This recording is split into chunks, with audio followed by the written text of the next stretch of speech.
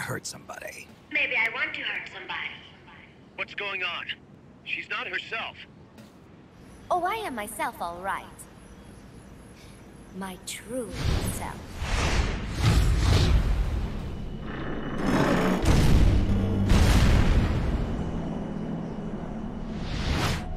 Kaz, shut that thing down. I can't! The controls aren't responding! Then how's it moving? I made some modifications. This machine was meant to have a human pilot. Modifications.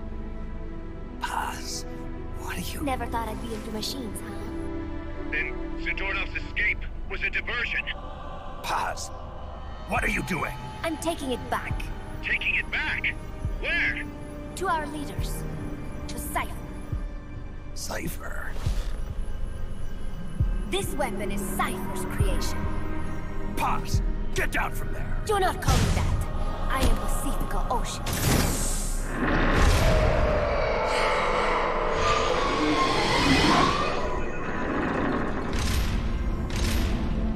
My name, my age, my mission.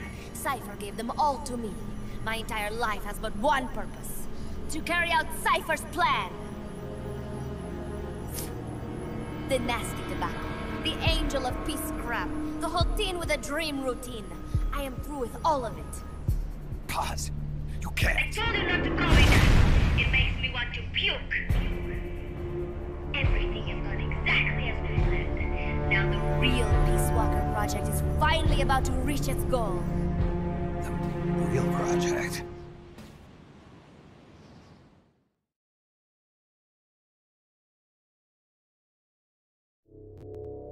Once upon a time, there were two young men who idolized a hero called the Boss. One day, they suddenly lost the point of origin. This cipher, that was like a mother to them. Unable to come to terms with their sorrow, they each decided to carry on the will of their hero. But they could not agree on what that meant.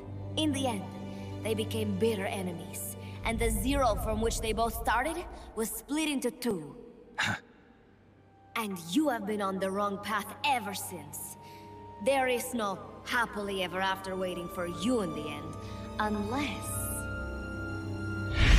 You obey the will of Cipher. Where does an army without borders call home? A state without borders, of course. A world without borders.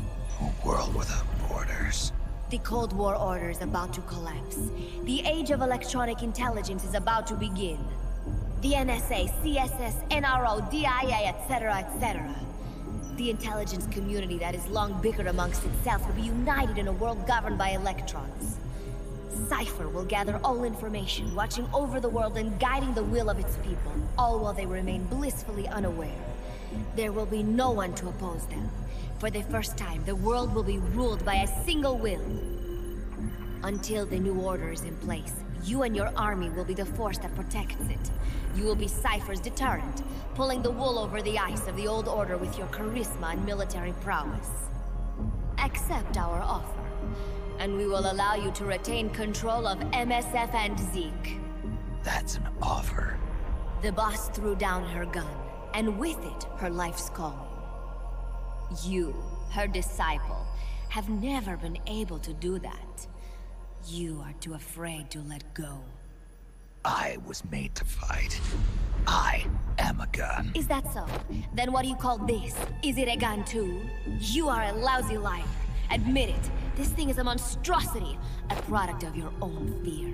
But not Cipher. Cipher thought of something different. Cipher's going to control guns.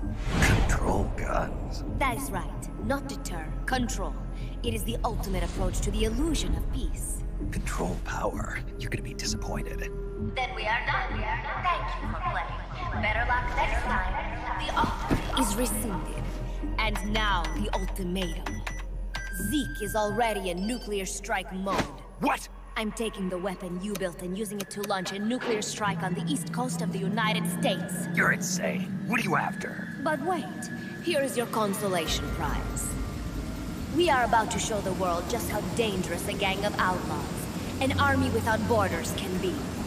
You and your men will become pariahs, and you will be wiped off the face of the earth. Rather than heroes, you will be seen as a well-armed extremist cult prone to indiscriminate outbursts of nuclear aggression. You will give rise to a new world order, an age of deterrence defined by sphere of extremist cult influence. Do you like the picture I am painting? Big boss. When all is said and done, peace is nothing but a fantasy. A game is a game. You either win or you lose. All you can do is fight. Stop me if you can. The peace sign is the V of victory. Say, peace.